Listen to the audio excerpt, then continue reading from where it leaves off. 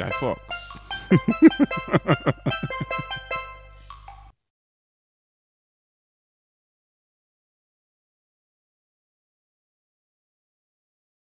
Hey Guy Fox, can you teach me how to draw a seashell? A seashell? Sure. Let's draw two kinds. First, let's draw a scallop shell. We'll start at the bottom with a small half circle. This part of the scallop is called the umbo or beak. Then let's draw a diagonal line coming from each side of the umbo.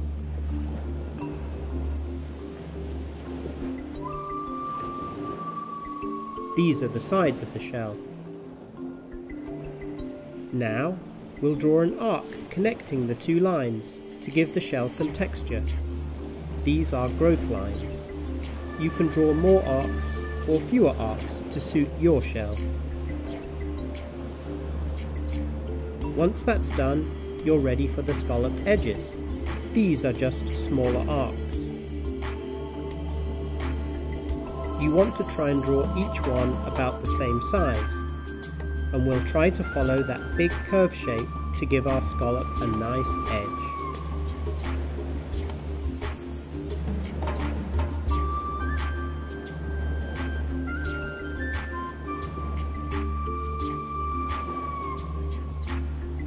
It's starting to look like a scallop shell.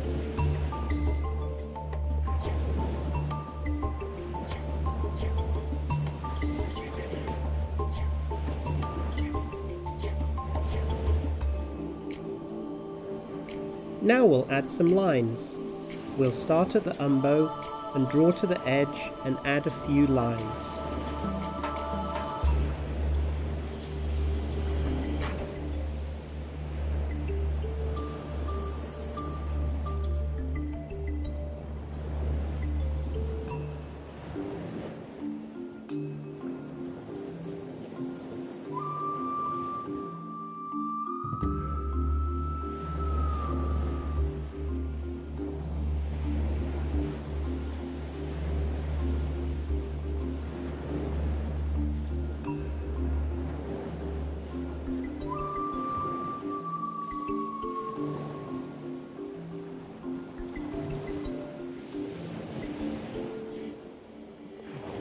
And finally, we need to add some squidgy triangles at the bottom of the umbo.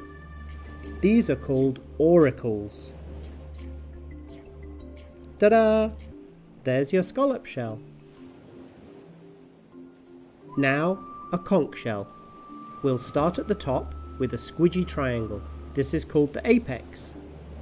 A conch shell has whorls beneath its apex, and we'll draw these as squidgy trapeziums. Each one is slightly larger than the one above it, and with a slanted bottom. Like this. Then, we need to draw a curve coming out of the whorls. This is a shoulder. It comes down, and at the bottom of it, we'll add a smaller curve. Now we'll draw a careful curve up and over to make the lip of the opening in the shell.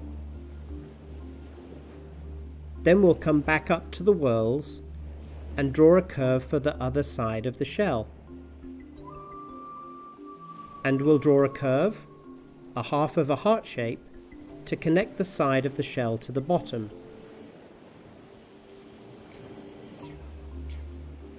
Inside that, we'll draw a short curve to show the outer lip of the shell. And then we can add some curves for its growth lines. When you draw these curves, you'll want to curve some toward the left and some to the right.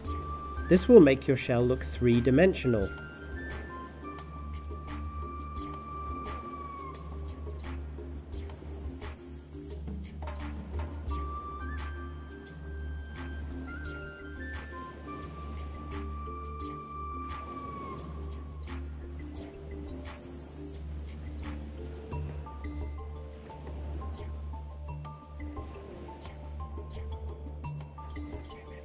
And finally, let's colour in the opening, which is called an aperture, to really make the shell look finished.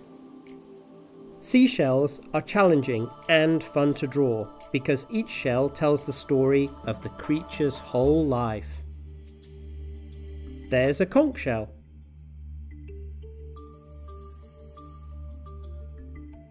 Happy drawing!